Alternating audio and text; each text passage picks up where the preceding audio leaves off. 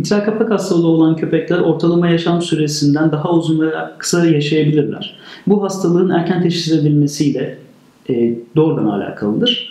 Bunun yanında e, erken teşhisle beraber doğru ilaç kullanımı ve zamanında kontrollerle e, hastalar uzun süre yaşamlarını sürdürebilirler.